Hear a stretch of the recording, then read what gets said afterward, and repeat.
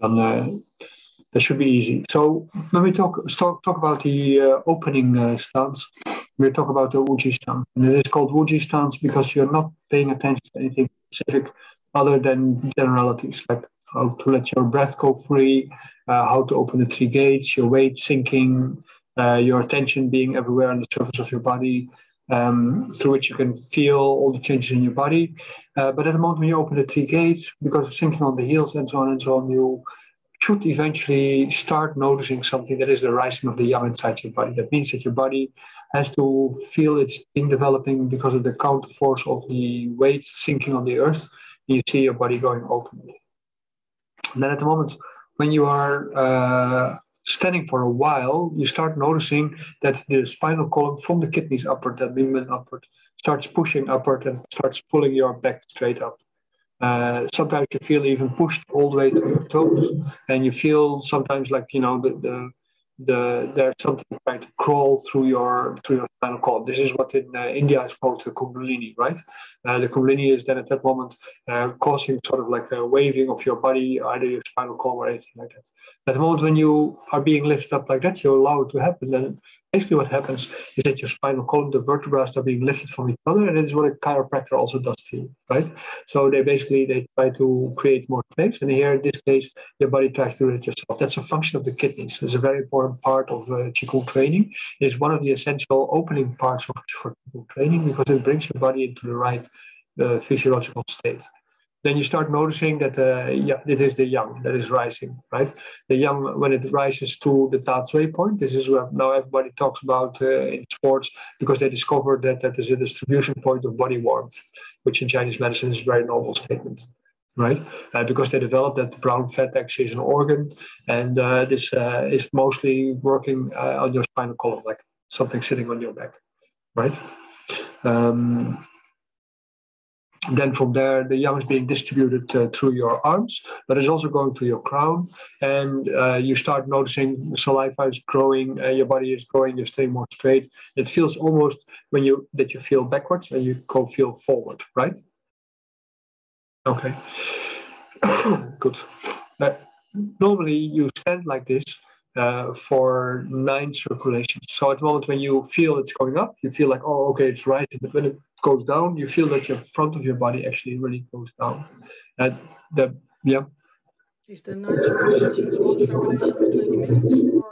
Or no, actually, nine circulations is that the yang goes up on the backside. This is alchemical talk, right? This is alchemical talk. It's not actually specifically uh, bamboo formula qigong talk, but it is because you all kind you all quite experienced by now. So I think I should uh, talk with you about it also. And at the moment when it when it goes up, uh, then at that moment uh, uh, it also returns back on the front side. And you feel the back side feels more like a force trying to push you up, but on the front side it feels more like a weight coming from the inside. Mm, I don't know if you remember uh, and Claudia, both of you, a long time ago, and did you do also Emei Qigong. Um, and there was this uh, thing developing where there was an exercise where you really go in and you feel like there's a waterfall coming in here like this. They were they were they were using very different methods than what we do in, the, in these kind of styles. And um, this is basically what you what you start noticing because this is what it's copying. The movement is copying the sensation that the yang comes up, and then you feel like you know as if something is flooding inside your body, going down all the way to your belly, but also going all the way to your feet at the same time. Yes. Uh, do you feel that part also when you when you're standing for some some time? I took some too much coffee, so I was only rising, rising, rising. yeah, that will go faster that way. Yes. Yeah. but uh, so this is, basically one of the things that we want to see. So when you're standing on the opening of your exercise, actually the minimum you would like to achieve is that that one circle actually happens. But normally, uh, when you would re- take serious uh, practice for yourself, you would wait for nine times, and you will see that the nine time goes faster than the first time, right? So starts going up and then goes down, and then the second time goes a little bit faster, it goes a little bit faster, until eventually you start noticing this is like a continuous movement. And what I want to try to do with, uh, with you today is to try to do this exercise and uh, only this Wuji stance to see if we can get so far for everybody to do this nine times and to see what's going to happen to your body. You have to keep still enough, of course, in your standing, keep your eyes open. Uh, if you feel uncomfortable, you feel dizzy or something like this, because that could be from long time standing, then just uh, move around a bit, drink a little bit of water, and just uh, continue again. Yes? Shall we try that? The Tai Sui point is that the stone gate? I'm sorry? The Tai, tai Sui point you, you uh, mentioned? Tai Sui point. Did I mention it? Where did I mention it? Something you you you said um, that it Oh, regulates. that way, that way, that way. That's It's, uh, they are D H uh, Z uh, U I. hmm Uh, that means that basically means a big, big dispersion. Yeah, so this is, where, this is where the yang is uh, dispersed. That's the seventh vertebra, the one that normally sticks out. And because in this exercise, you start noticing how it is being pulled inward. At the moment when it's being pulled inward, actually everything disperses. Right. All, all the yang channels, they have a connection point with the area around it. Actually, they connect with the collateral there, not with the, not with the tumor itself, but uh, it functions enough uh, as such. Yes? Okay. Okay, let's try. so first start again with uh, the feet uh, together.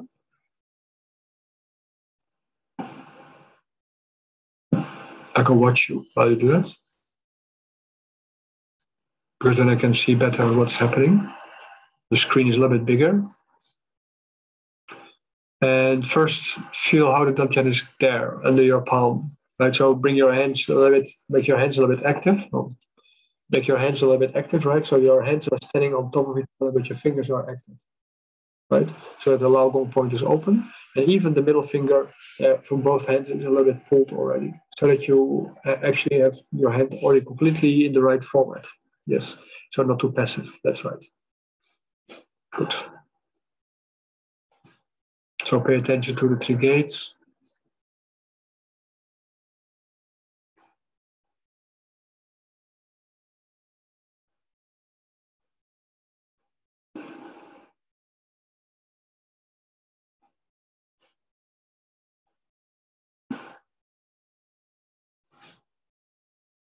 See how far we get.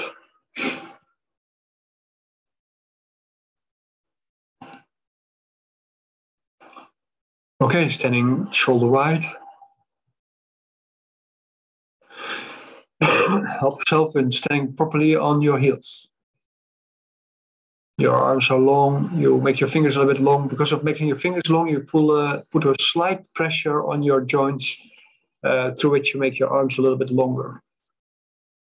Your palms are turned backwards, so not on the side, but really facing a little bit to the back wall behind you. So you turn them a bit. Yeah.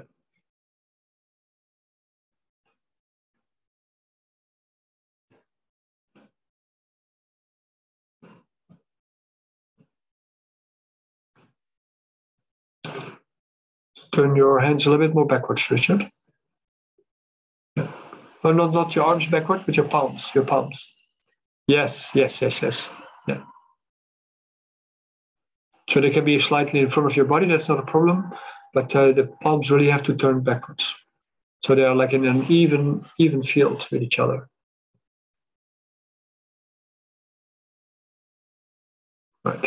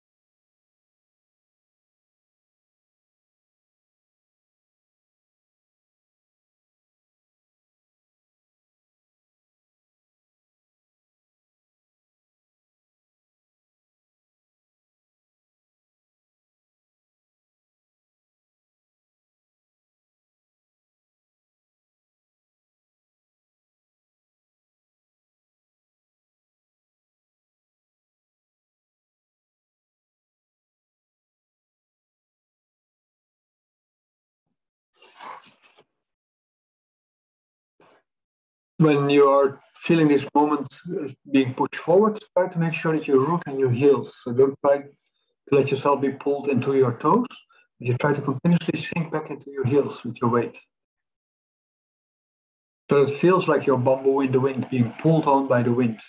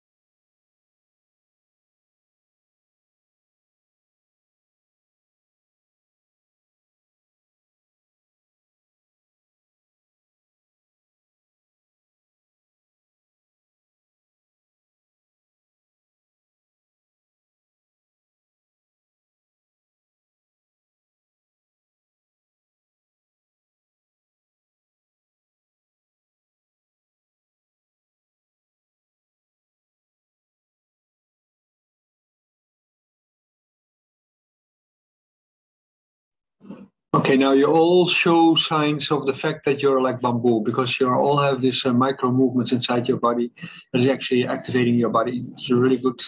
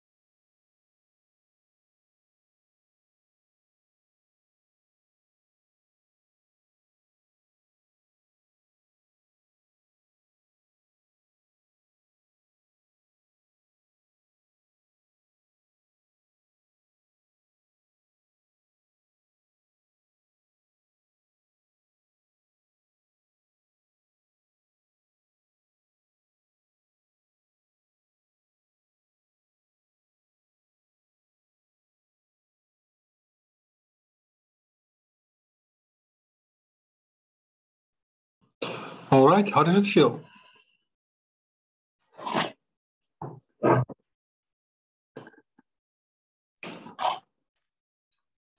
certain point, um, I felt that the the moving came from my from my legs, from my legs up, not okay. very good. from my back. All right, very good. Further. And it wasn't um, uh, really kind of neat waves every time. Sometimes it was just a movement and then it seemed to disappear. Mhm. And it was difficult to feel uh, the front side to, to uh, let it go down. I felt the back, the, the rising uh, at the back uh, better than, than uh, uh, the lowering on the front side. Yeah, me too. Yeah. Claudia? Hold on, trying. My posture was fine, alleen the tensions were also there. Some at some part when I uh, did my three points up, I started to smile, so I know that's fine with the tongue to the palate. But my, since I'm walking my post, I'm glad I feel my muscles of my upper leg, but now it's counter counter affecting this exercise. So I feel the tensions in my upper legs, and then my knees are not nicely relaxed, but I'm on my heels. I, um, I must admit, it's a little bit of a, a teaser, of course, because this exercise, as an opening exercise, is actually quite hidden. You, see- you see it in the Tai Chi Chuan, comes back in some form, it comes back in uh, uh, the the and so on. Um, but it, in fact, what I came to accept over time is that it is exactly doing what you're saying. It is uh, countering tensions. It's uh, opening up the spinal column. It's helping the muscles to open up and stuff like this. And as such, as an exercise, it is actually the best anti-aging exercise that I know so far. Yes, because it does exactly the opposite of what aging does. Aging is always contracting you, right? So every time when you do something that contracts you, it actually ages you. And every time when you make something open again, it is uh, the opposite. Uh, uh, he talked about uh, in the flower ornament script, scripture, he talked about uh, can you move like a bear, opening and closing. And so he talked about this, right? Because at the moment when that bear goes to sleep, he makes himself small. And at the moment when he when he exercises, basically he moves, he makes himself tall. So like stretching, you know, you wake yourself up. This is similar like that. It's like stretching, yes. but at the same time, you're stretching not just your your muscles and, your bones, your channels, your blood vessels, your nervous system, everything like that. So all these kind of things, they all uh, are being stretched, and as a result that, they all get activated, and they start renewing uh, itself. So this is also why it is useful to stand like that longer time. Normally, what I do every morning when I wake up, because at the morning when you wake up, you're stiff, right? Because of uh, the collagen that you produce uh, in your body to not fall out of the tree, or, or for when you are fall out of the tree, that you are a little bit protected against falling out of the tree. So then I spent about 10 minutes uh, just doing this exercise right? Uh, wide stance, Zhongwu after that, and then I make a choice of, of uh, what to do the rest of the day because these are all exercises that make your body open, right? Uh, strengthening the dantian, um, opening up the body, and so on and so on. So this is uh, the minimum that I every day every day try to do when I wake up. Uh, for the simple reason uh, that it is activating the body in such a way that you automatically have more optimum use of your body and you become less tired during the whole day. So this is one thing that is uh, part of the Bamboo Formula Qigong, and this is also why I think uh, both at the beginning and at the end of the Bamboo Formula it has a prominent place because when you get tired during the exercises, you also start feeling that you're contracting, right? Uh, like for instance, this one, go, yeah, oh, it's so painful. Yeah. yeah oh, it's so painful. oh, I can't anymore. I can't anymore yes. And uh, so with an exercise like this, uh, then it automatically becomes a little bit uh, easier. And at that moment, uh, uh, you, how do you say, uh, you you activate the natural recovery functions of your body. Yes. I would almost say immune, autoimmune functions, but that's not what it is because it's not your immune system. It is your recovery functions in the sense that it yeah, it, it basically rejuvenates your body. And by practicing this every day, uh, you keep your body fresh and elastic. That's basically what it is. Yeah, because it's a collagen collagen dissolving exercise, actually. Uh, of course, in all the exercises we do, we all the time talk about making long, right? So uh, you see where that comes from. It comes from the principles which you now experience with this exercise, because you feel also that your arms become longer. And that brings me to the next part, because there's a whole Facebook area, there's like one particular Facebook area, they only talk about uh, Kundalini and how spectacular it is, and they compare it with all kind of things, ayahuasca, whatever kind of stuff. So you see here, this is like a household technique, right?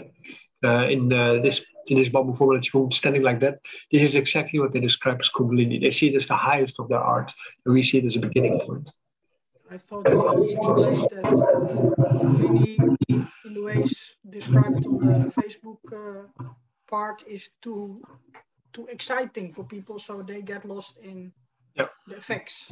Yeah, because they they they they, they follow it, and they, they it's just like when you get uh, when you when you get aroused, sexually aroused, right? Uh, you get excited and you go further and further, and you get passionate, more and more passionate. But then you lose actually your commitment to what you're actually doing, because you're so getting so excited. You're at a certain point you lose the actual function of the activity, and then you only go to have your orgasm or something like this. Yes, and uh, this is basically what uh, people do with Kundalini. They go for the for the yang orgasm, so to say, that everything goes to the head, like when they're drunk. I was this morning. I was watching a documentary about uh, the nervous system and boxing, and uh, very interesting.